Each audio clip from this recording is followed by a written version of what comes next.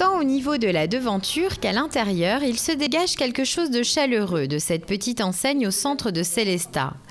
Ici, Emmanuel Bûcher a concrétisé une idée qui lui trottait dans la tête depuis plusieurs années. Ouvrir un café-boutique où les visiteurs pourront trouver merveilles, curiosités et gourmandises. Donc l'aventure, elle a commencé dans ma tête il y a déjà deux ans. Donc j'avais euh, tout ficelé dans ma tête. J'adorais faire de la couture. Euh, j'aimais distribuer à mes amis ce que, je, créais.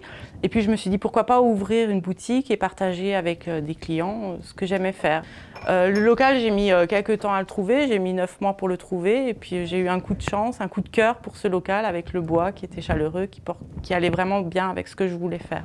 Parmi de nombreux articles exclusivement fabriqués en France, figurent en bonne place les créations d'Emmanuel, comme ses fagnons ou encore ses coussins. Je confectionne euh, les coussins, donc je choisis des tissus que j'aime en général. Je peux, choisir des tissus unis ou alors euh, forme géométrique, souvent scandinave, et je mets euh, à l'arrière un uni. En portefeuille, comme ça, ils sont déhoussables, lavables, sans problème.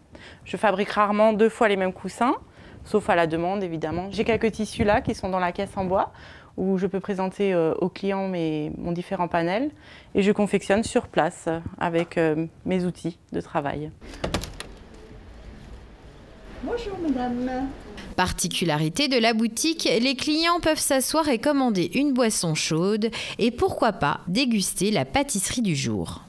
C'est un café boutique où le client peut boire un café, boire une boisson chaude, un thé kusmi, une boisson fraîche et en même temps déguster euh, une tarte, euh, un gâteau et puis tout en profitant de, de, ce qu'il y a autour de lui, de la boutique.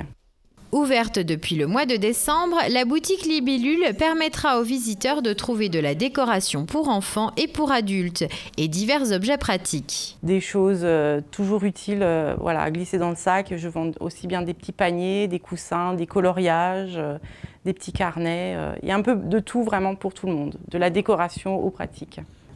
On a le droit de se faire des cadeaux à soi-même aussi, donc euh, autant en profiter, se faire plaisir de temps en temps aussi. La boutique est ouverte tous les jours, sauf le dimanche, le lundi matin et le mercredi après-midi.